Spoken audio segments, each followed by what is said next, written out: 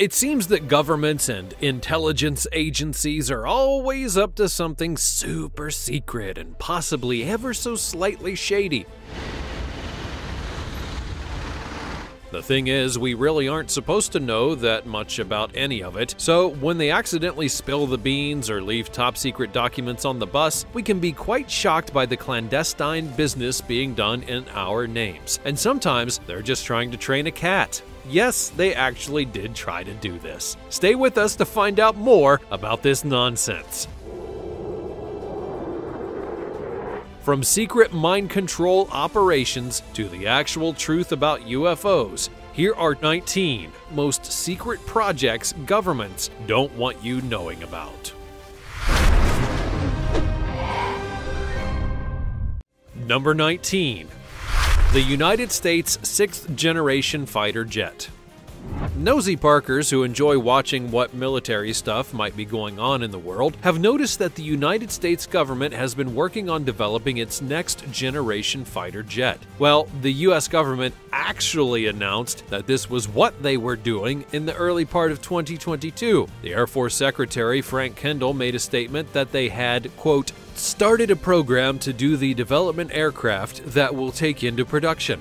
These things generally take a rather long time to be seen through development and to completion though, and it's likely that it won't be an actual aircraft before the end of the decade. But it is still important to make sure that people know that you are working on one. You know, people like your mortal enemies and others that might also want to purchase a similar sort of machine for themselves if you have one. Although obviously much of the stuff about this fighter jet is shrouded in mystery, apart from the fact that it exists, they've all stated that it will definitely become the centerpiece of the new next generation air dominance system, which sounds as intimidating as it is supposed to be. So although they don't want you to know exactly what weapons and sensors and drones and whatnot that this aircraft will have, they absolutely do want people to know that it does exist. Before we go on, like this video, smash the subscribe button, and click the notification bell right now, or this centipede will crawl on your face when you're sleeping. Number 18. Area 51 Almost everybody has heard of Area 51, but almost nobody has ever actually been inside the place. It's so shrouded in myth and history, and yet it remains extremely secret. Area 51 is a secret United States Air Force military installation in the middle of the desert at Groom Lake in the south of Nevada. Over the decades, Area 51 has been at the center of a lot of conspiracy theories about aliens and UFOs and all that fun stuff. And despite all of the stories about this place, the only thing that's ever been officially confirmed is that this base is used as a flight testing facility. Since the 1950s, there's been so much speculation about the site. Umpteen UFO sightings have occurred in the vicinity, and it's now a kind of mecca for alien hunters. It was during the 1980s that the biggest conspiracy theory really gained traction, when a man who alleged to have worked at Area 51 claimed that the government used the site for examining alien spacecrafts that they had recovered. The military installation itself is, naturally, not exactly a welcoming place, despite the amount of unsolicited attention that it receives. The base is marked out by posts watched by a zillion security cameras and covered by motion detectors. It's also patrolled by guards who dress in camouflage. They're known as camo dudes by devotees. The guards refuse to answer any questions about the base or indeed their employers, like a shadowy contractor known as AECOM. Trespassers are warned that deadly force will be used against them, and there's no mistaking what that means. Number 17 the Hazardous Devices School in Alabama. All of those bomb technicians have to learn their trade somewhere, and all the official ones seem to learn their stuff at the FBI's Hazardous Devices School in Alabama. The Hazardous Devices School, as well as having a bit of a mouthful of a name, is located at the Redstone Arsenal in Huntsville, Alabama, in the United States of America. Yeehaw! This school was established all the way back in 1971 when it was initially set up as a joint venture between the FBI and the U.S. Army. It would be designed to train and educate educate both new and experienced bomb technicians in this ever changing world of threats and weaponry. And although they don't just let anybody in to nose around, well, it is not as if this place is exactly some sort of massive secret or anything.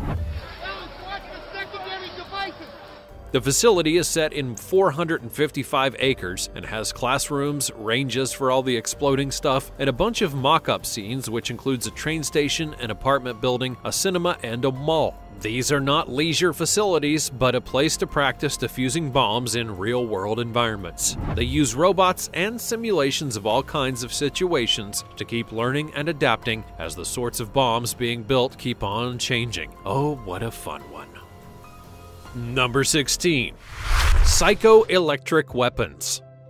Up next, we have one for all those die-hard conspiracy theorists out there. This is the murky and mysterious world of psychoelectric weapons, whatever that might mean. But despite the really out there idea of this, it seems that perhaps there's some substance to it after all. Psychoelectric weapons is basically all of that stuff about mind control. In this instance, it refers to a bunch of information that was obtained using the Freedom of Information Act in order to find out about a load of political stuff that had been going on. Except except that they also received a file about mind control, seemingly by accident. So this file appeared to give an indication to what extent the United States government had been developing mind control initiatives. What was unearthed would shock even conspiracy nuts that had been saying all of this stuff all along. The NSA had indeed been tinkering inside the heads of individuals to try and run covert operations. The documents that were included in the file were not, however, official government papers. They were were more like a bunch of research into the previous times that mind control weapons had been looked into. So, you know, it is enough to keep the conspiracy theories engaged, but not enough to say that it was definitive proof of any specifics. Exactly the sort of stuff required for a conspiracy theory in the first place.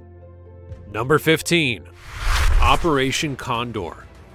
During the late 1970s, Operation Condor was a campaign against anyone who spoke out against certain South American dictatorships. It was a violent campaign of repression to silence dissidents, and in more recent times, the true extent of this war has become clear, and movies and documentaries have highlighted just how barbaric and far-reaching this event had been. Operation Condor was basically a secret pact between South American dictatorships, which included Argentina, Uruguay, Chile, and others, in which they created an alliance to hunt and remove their enemies. These operations were performed during the 1970s and 1980s, and in the end, it's believed that 171 opponents of the regimes were disappeared, tortured, and by the coalition of high-ranking officers from the military regimes. When the atrocities were brought to light after the collapse of those regimes, even former presidents were charged with conspiracy. Number 14. Dulce Base the conspiracy theories that surround Dulce Base are nothing short of outlandish, even bordering on bananas. But despite there being no real evidence of any of this stuff, here are a few things that some of the enthusiasts do think are going on in the place. Dulce is a town in New Mexico near the border with Colorado. Conspiracy theorists believe that there's a secret underground facility here in which there are some super shady experiments taking place. They say that there are incredibly advanced technologies, crazy animal-human crossbreeds, and all manner of other spectacularly bizarre happenings. All very top secret, of course. It's known to be highly guarded with extremely fierce security forces, and it's utterly forbidden to enter, you know, naturally. Number 13. Mount Weather there are a couple of secret facilities within the United States that are designed to be used as the place from which the government would operate in a certain high level of threat situation. Nobody especially wants to think about exactly what those sorts of situations would entail, but should there be a national disaster, the Mount Weather Emergency Operations Center in Virginia is the place where the highest level of military and civilian officials would be stationed. This kind of really sucks for the rest of us, because to be frank, we'll simply be left to deal with the disaster, or more likely, die in our millions, leaving a bunch of government employees to repopulate the Earth. And that thought is even more depressing than the dying part. The site would be used after the attacks of September 11th, when almost all of the congressional leadership were helicoptered out to take refuge in Mount Weather. The general idea of this place is that it would support the systems of government, even if the rest of the country is under attack or some other widespread state of emergency occurs. What a fun one! Number 12. The CIA tried to train a cat to be a spy. Now, I don't know about you, but I especially enjoy it when the CIA do more silly stuff like this rather than their standard covert scariness. This is the bizarre story of how, in the 1960s, the CIA had a project on the go that aimed to train a cat to be a spy. I know, it's ridiculous. You can't train a cat to do a darn thing unless it decides that that's what it wants to do. So the whole idea seems utterly absurd. Anyways, they had a big budget and not the largest quota of common sense, so the CIA blew $15 million on this harebrained scheme. The project was known as Acoustic Kitty and was basically seeing the CIA involved in putting a listening device into the ears of a cat and then trying to train it to sit next to people whose conversations they wanted to hear. You know, like when all the spies of the Cold War were always sitting on park benches to discuss top secret stuff with their newspapers. Anyways, if they had any idea whatsoever about cats, then they would never have even tried this, because cats will not do what you tell them to do. So guess what? Acoustic Kitty was a colossal failure. Maybe they should have tried with my pet guinea pig Twinkle. She listens pretty well, and usually does whatever you ask her to do. If you're nice, give her a little kiss on the cheek, you know. Number 11. Fjork, the Five Eyes. The creepy sounding Five Eyes is an intelligence alliance between the United States, the UK, Australia, Canada, and New Zealand. Each nation presumably represents one of the five eyes in the spying gang. These five countries are all a part of a treaty that requires them to participate in cooperation in signals intelligence. This means that whatever nosy Parker business they do with their own communication surveillance systems, they're supposed to share with the rest of the class. This stuff is at the core of the special relationship between the United States and the UK and the Commonwealth countries, an alliance of Western powers to ensure a certain amount of shared intelligence in the benefit of each nation. This group came about in one form or another during the Cold War. It was formalized as an intelligence sharing arrangement in the late 1960s with the Echelon system. This is basically the code name for the Five Eyes Project, but shh, it's a secret. Number 10. Project A119. In the 1950s, everyone was completely obsessed with nuclear weapons. The idea of the bomb was in every aspect of life in the United States, and people lived in daily fear of getting nuked. In fact, the idea of setting off nuclear bombs was so fully embedded into culture that as the space race developed during the 1950s, the American intelligence community had some rather peculiar plans for the moon. By the time that John F. Kennedy gave his speech about sending people to the moon, there had already been a bunch of covert plans about similar but considerably less benign trips to that particular rock. U.S. intelligence had a plan, which was known as Project A119. This was where they were trying to figure out whether or not it was feasible to detonate a nuclear weapon on the moon. You know, they'd blown them up in the desert, under the oceans, and in the sky, so they figured where else can we destroy? And the moon looked like a good bet. Luckily, they decided that they would send people instead of bombs, so in the end, that happened rather than yet the more insane bomb nonsense. Number 9. Project Stargate here we are with some proper conspiracy theory stuff that has been confirmed to be a real project undertaken by the United States Army. Not tremendously reassuring, really, but then again, it makes good content for movies and such. Back in the 1970s, the United States got wind that the USSR was spending loads of money on so called psychotronic research, and anything that Russia was doing, well, the United States had to do it too. So they began trying to poke around inside people's heads in order to weaponize the brain. This project had a bunch of different names, including Stargate, Gondola Wish, Center Lane, Grill Flame, and many more, and until 1991 they had settled on Project Stargate. The general idea of this thing was to test the potential for using psychic phenomena for use in the military and in domestic intelligence. There were a few individuals individuals who spent some years trying to see events or places and information from a huge distance by using their psychic abilities. Although it went on for some time, it was not given an enormous amount of resources. They say the whole Fandango was run from an old and leaky barracks, and even so, it continued until 1995 before being terminated and declassified. The 2009 movie The Men Who Stare at Goats was inspired by Project Stargate. Number 8.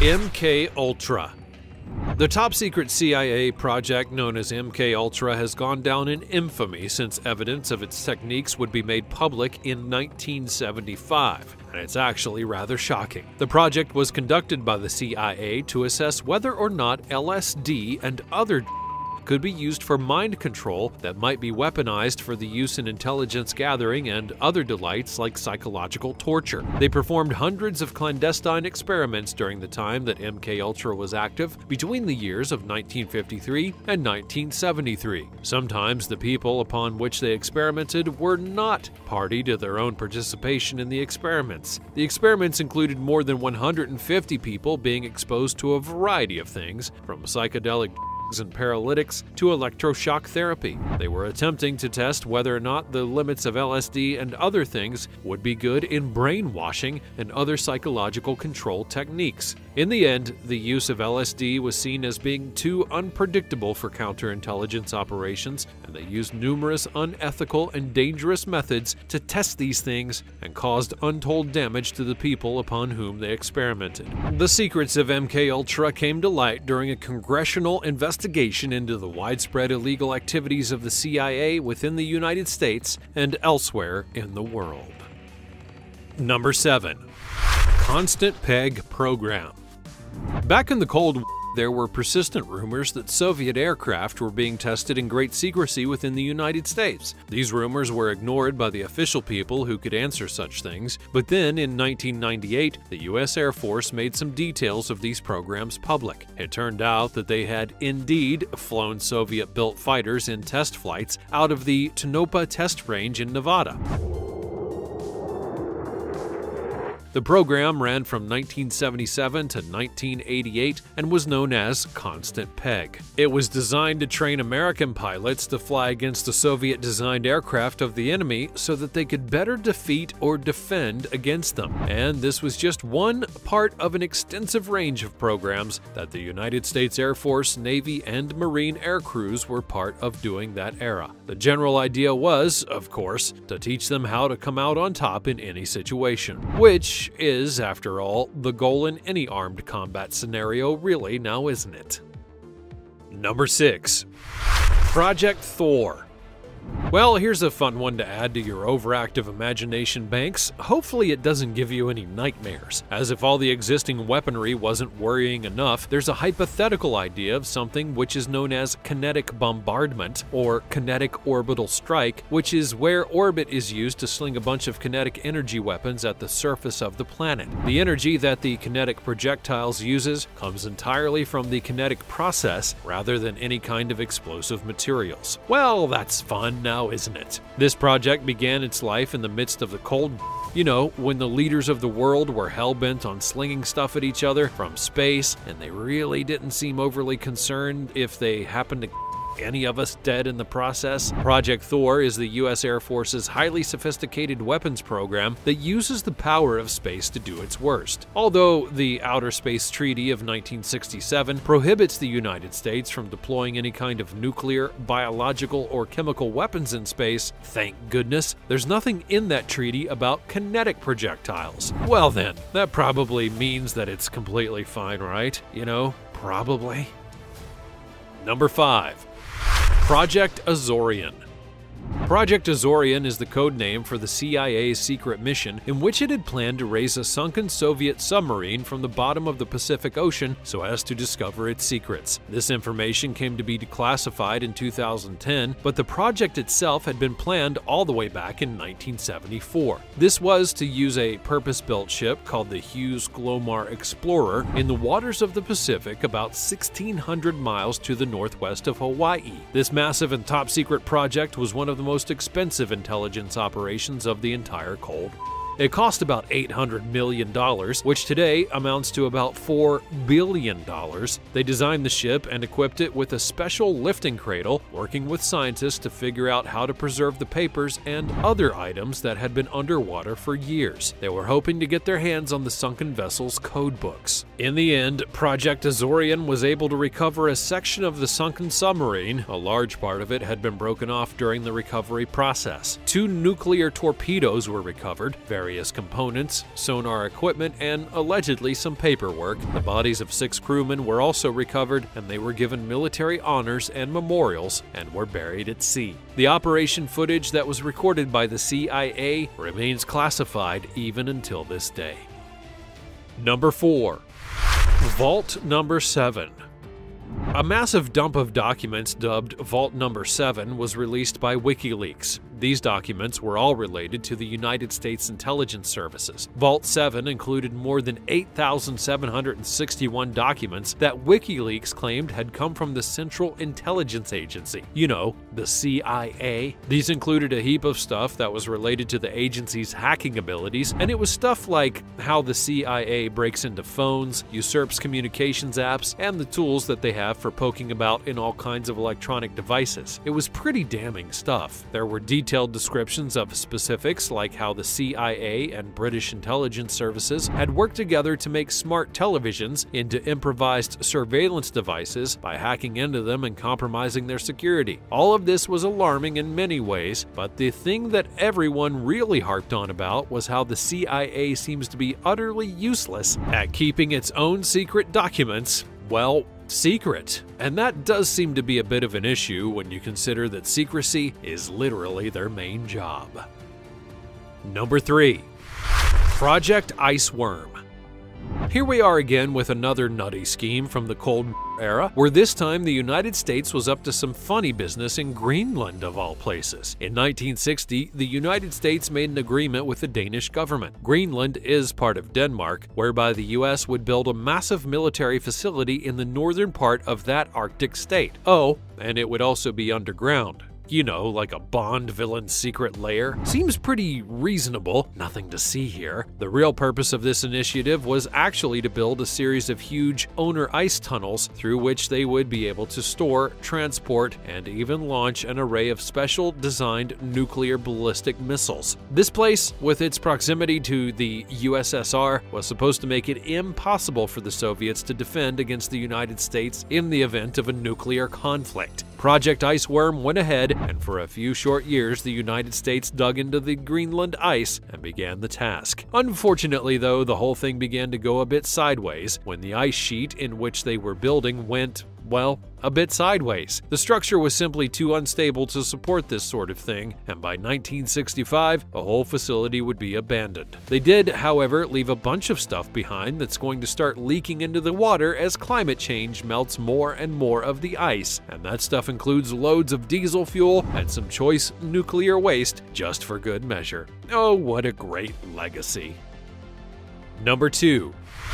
The X-37B the secretive and unmanned orbiter that is known as the X-37B belongs to the United States Air Force. But what is it and what does it do? Well, this thing looks a lot like the Space Shuttle, but on a distinctly smaller scale. It's bullet-shaped, black and white, and has small wings, much like that much more famous space vessel. This one, however, is not designed to carry humans on space missions like the NASA spacecraft, with which we're all familiar, but rather this one's designed to go out and do the secret work of the U.S. Air Force out in space. The orbital test vehicle is unmanned. It's designed to spend months on end in orbit and to carry out top secret classified missions for the American military space program. It's shrouded in secrecy, so that's led to plenty of speculation about what the space plane might be up to. The things that it seems to be doing, like testing an ion thruster, doing a NASA materials experiment, doesn't really live up to all the crazy space weapons ideas that have been thrown around by the conspiracy theorists out there. But who knows what they might really be doing? Do you have any ideas? Go ahead and vent about it all in the comments section down below.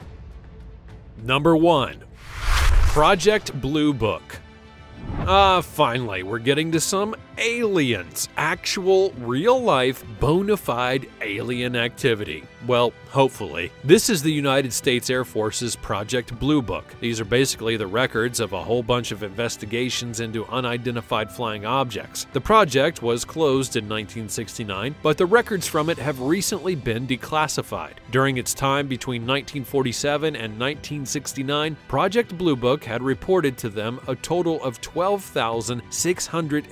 12,618 sightings of so called UFOs. Following their investigations, a total of 701 sightings remained unidentified, and those must have been the aliens. The project was ultimately terminated because they established that no UFO had ever given any indication of being a threat to national security. There was no evidence that there was any technology involved that was not in the range of the present day knowledge, and they also identified no extraterrestrial vehicles. For these reasons, they concluded that there was no further need to keep on investigating UFOs. The information that would eventually be released in these archives also stated that there were no, and that there had never been, any remains of extraterrestrial visitors stored at the Wright Patterson Air Force Base. This information also included a statement that the so called Roswell incident of 1947 had never involved any locations of or make any further developments to the story that there had been any sort of UFO incident that had been covered up. Which is a bummer as far as the aliens go, really. I'm kind of disappointed, aren't you? Although, when do we ever really believe any of those official documents that are released to the public?